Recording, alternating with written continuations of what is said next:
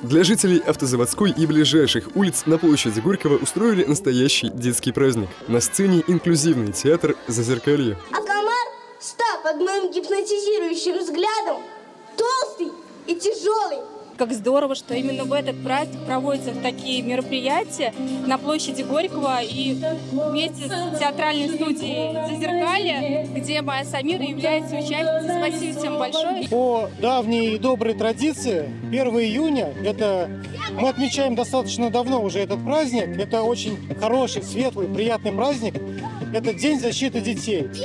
А, искренне хотелось бы поздравить всех наших маленьких пациентов, всех детей, всех подростков. 1 июня также день старта летней оздоровительной кампании. В 15 загородных лагерей сегодня заезжают дети со всей области. 5 загородных уже начали свою работу до 1 июня.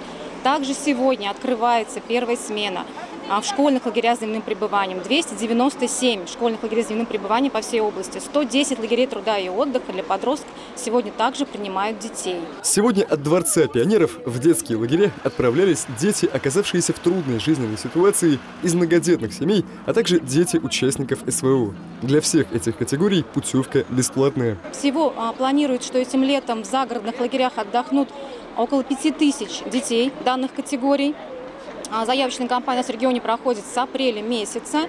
А, родители на заявительной основе обращаются в уполномоченный орган, а, подают минимальный пакет документов, главный документ, подтверждающий их право на бесплатную путевку. Многие из них поедут в лагерь не в первый раз. Веселые воспоминания о смене, добрые знакомства и здоровье – вот что останется с ними после оздоровительного лагеря. Каждый год практически езжу, не считая года пандемии и года, когда я экзамен сдавала. Вот. Ну, я ездила в Юлу, получается, и в Березку. Как-то раз мы с моей подругой пошли ночью и выкрали тумбочку из соседнего корпуса и наткнулись спиной на вожатую, на нашу. Тумбочку пришлось вернуть. Да. У перрона машут руками вслед уходящим автобусам мамы, братья, бабушки.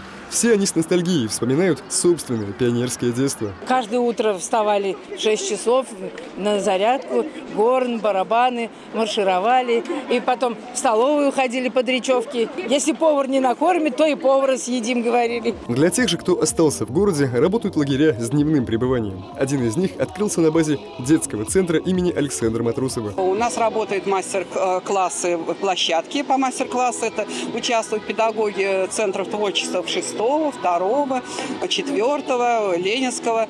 Кроме того, у нас Ульянушка выступает из четвертого центра. На время пребывания детей ждут не только развлечения, но и программы «Умные каникулы» и «Безопасный город», которые научат детей основам астрофизики, познакомят их с разными видами творчества и правилами дорожного движения.